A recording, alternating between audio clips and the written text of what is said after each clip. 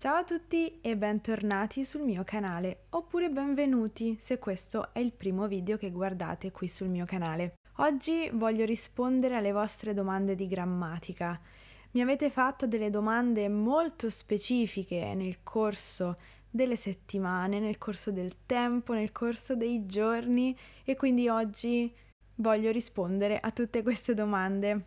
Mettetevi comodi perché sarà un video lungo Partiamo subito con una domanda scottante. Si dice ha piovuto o è piovuto? Parliamo del verbo piovere, che è un verbo atmosferico, cioè si riferisce ad un fenomeno meteorologico, quello della pioggia. I verbi atmosferici sono verbi impersonali. I verbi impersonali vogliono l'ausiliare essere. Quindi con il verbo piovere usiamo l'ausiliare essere. Nell'uso comune della lingua, però, è diventato sempre più comune usare l'ausiliare avere con il verbo piovere. Quindi è molto comune dire ha piovuto invece di è piovuto. Questi sono dei cambiamenti della lingua che bisogna registrare. Possiamo ipotizzare il motivo per cui il verbo piovere sia molto usato con l'ausiliare avere.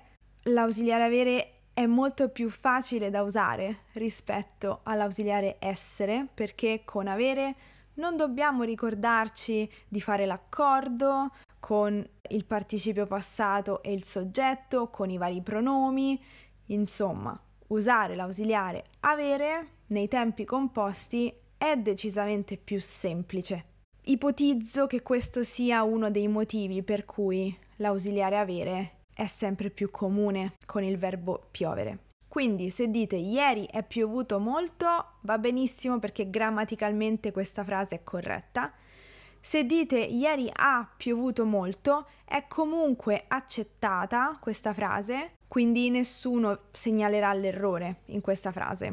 Però il verbo piovere può anche essere usato in senso figurato, quindi non con il significato del fenomeno atmosferico della pioggia, ma con un altro significato, quando qualcosa piove addosso a qualcuno, per esempio. Se dico a Sara sono piovute addosso molte critiche, significa che Sara ha ricevuto molte critiche. In questo caso non abbiamo scelta, l'ausiliare può essere solo essere. Quindi, che cosa possiamo dedurre da tutto ciò? Possiamo dedurre che se utilizziamo l'ausiliare essere con il verbo piovere, non sbaglieremo mai in nessun contesto. Qual è la differenza tra ora e adesso? Dal punto di vista del significato non c'è alcuna differenza, quindi possiamo usare queste due parole come sinonimi. Ti telefono ora, ti telefono adesso. Sto dicendo la stessa cosa. Se vogliamo trovare qualche differenza, possiamo dire che adesso è più informale di ora. Possiamo anche dire che adesso è più frequente di ora nella conversazione. Qual è la differenza tra fra e tra? Queste due preposizioni semplici hanno la stessa funzione e hanno lo stesso significato nella conversazione, quindi potete usarle tranquillamente una al posto dell'altra. Ti chiamo tra 5 minuti, ti chiamo fra 5 minuti. Sto dicendo la stessa cosa. Quando siamo in pubblico diciamo scusi o scusa per dire excuse me. Allora, dobbiamo sapere che scusa e scusi sono due coniugazioni dello stesso verbo. Il verbo è scusare. Scusi è la forma di cortesia, quindi lei scusi me, per esempio. Scusa invece è la forma alla seconda persona singolare, tu tu scusa me. Quando siamo in pubblico, generalmente siamo circondati da persone che non conosciamo. Quindi, per una questione di educazione, è sempre meglio iniziare una conversazione con la forma di cortesia. Quindi, se io fossi in autobus, per esempio, e dovessi chiedere a qualcuno di spostarsi perché devo scendere dall'autobus, automaticamente direi scusi, devo scendere. Oppure scusi, mi fa passare? Perché io non conosco quella persona e quindi automaticamente uso la forma di cortesia. Personalmente userei sempre la forma di cortesia in pubblico. Mi approccerei alle persone sempre chiedendo scusi. Ovviamente, se davanti a me ho un bambino, direi scusa, perché ovviamente in quel caso il fattore dell'età è molto più forte.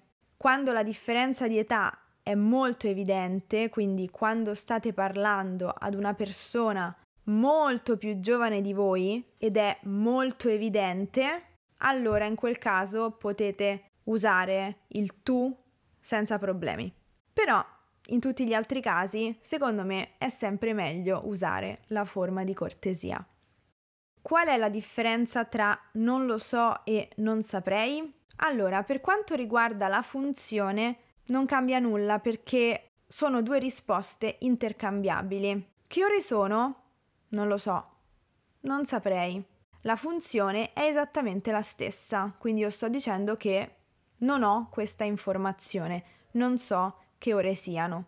Dal punto di vista del significato, non lo so è molto decisa come risposta, non lo so. Mentre non saprei è un po' più sfumata come risposta, è più vicina al dire non sono sicura, non sono certa di avere l'informazione corretta. Possiamo trovare questa lieve differenza di significato, però state certi che la funzione è la stessa in una risposta. La particella C può essere usata per dire con qualcuno? La risposta è sì.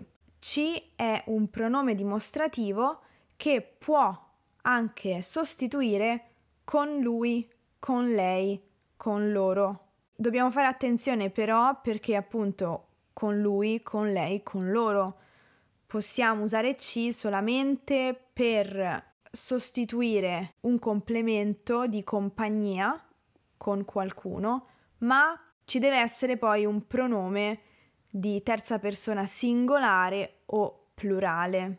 Quindi, per esempio, se io dico esco spesso con Martina, posso dire ci esco spesso, perché ci in questa frase significa con lei. Oppure parlo spesso con Francesco, posso dire ci parlo spesso, perché in questa frase ci significa con lui, con Francesco. Un altro esempio è vado spesso in vacanza con loro. Posso dire ci vado spesso in vacanza. In questo caso ci significa con loro. Si può usare vi per dire there. Posso dire vi sono molte persone nel museo. C'è, ci sono e vi è, vi sono sono delle strutture che hanno lo stesso significato e la stessa funzione. Cambia però il registro perché vi è, vi sono è molto formale. Quindi lo sentirete dire in discorsi formali. Nella vita di tutti i giorni usiamo c'è, ci sono. In italiano diciamo a mattina o alla mattina.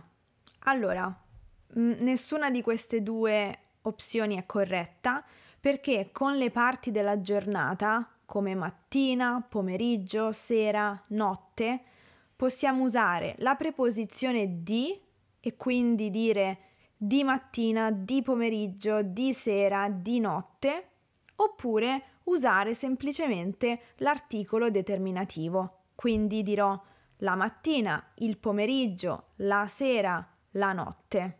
Facciamo un esempio. Preferisco allenarmi di mattina.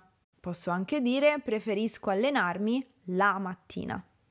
Quando ho parlato di questo argomento su Instagram, alcuni studenti mi hanno chiesto: ma e invece con la parola mattino? La parola mattino è al maschile, quindi è una parola diversa da mattina che è al femminile. Con mattino possiamo usare l'articolo determinativo il mattino oppure possiamo dire al mattino.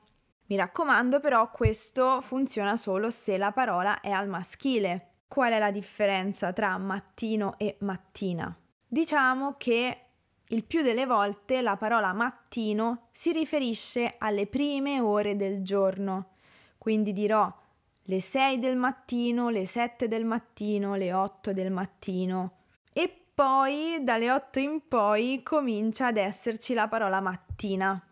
Quindi la mattina è tutta la porzione della giornata prima di pranzo. È anche vero che molte persone usano queste due parole come sinonimi, molto spesso, quindi sentirete persone dire le 10 del mattino oppure le 10 della mattina. Però dal punto di vista delle preposizioni, mi raccomando, non possiamo confondere le due parole. Quindi possiamo dire al mattino, il mattino, la mattina, di mattina.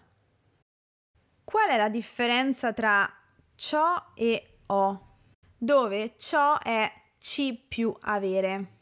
Non c'è una differenza di significato perché se io dico ho fame e ho fame, sto dicendo la stessa cosa. Cambia però il registro, quindi il contesto comunicativo. La forma ci più avere è una forma estremamente colloquiale, lo sottolineo, colloquialissima e grammaticalmente anche poco corretta. Si usa in contesti estremamente rilassati, non controllati. Invece, ho fame, avere fame, per esempio, è la forma standard, il verbo avere. Se ascoltate film, se ascoltate la radio, se ascoltate le canzoni, avrete sicuramente sentito entrambe le forme soprattutto nei film o in quelle serie tv ambientate a Roma, per esempio. Sicuramente avrete sentito dire c'ho fame, c'ho freddo, che c'hai, eccetera, eccetera. Però ecco, è importante parlarne perché è giusto che voi sappiate che cos'è questa forma. Non so quanto sia giusto dirvi di impararla in realtà.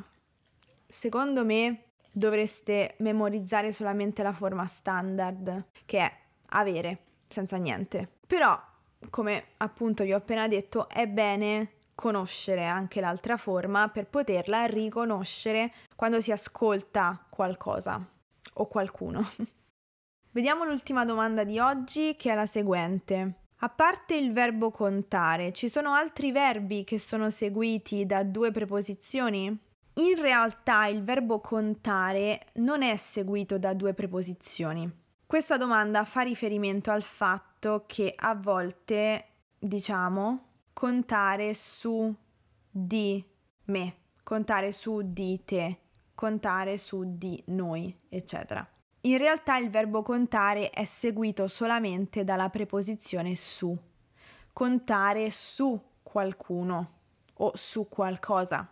La preposizione di entra in gioco quando c'è un pronome personale. Quindi io dico, conto molto su Francesca, conto molto su di lei. Quindi, quando c'è il pronome personale, lei, ma può anche essere lui, noi, voi, io, eccetera, abbiamo bisogno della preposizione di. Ma questo è l'unico caso in cui il verbo è seguito da due preposizioni. E sinceramente non mi viene in mente nessun altro verbo in questo momento. Non mi viene in mente un altro verbo che si comporta allo stesso modo. Se mi dovesse venire in mente qualche altro esempio come questo verbo, ve lo scriverò nei commenti sotto a questo video. Allora, questo è tutto per oggi mi piace molto rispondere a queste domande così specifiche sulla grammatica perché è bello vedere, perché innanzitutto mi piace parlare di grammatica e poi perché vedo che appunto dall'altra parte c'è lo studio e c'è l'interesse, perché se si è arrivati a formulare una domanda del genere così specifica, significa che c'è tanto studio e tanto impegno da parte di chi ha fatto la domanda. E, e, niente, quindi spero che questo video vi sia utile, spero di aver risposto ad alcune delle vostre domande, spero di aver risolto alcuni dei vostri dubbi grammaticali. Io vi ringrazio per aver guardato questo video e noi ci vediamo nel prossimo. A presto! Ciao!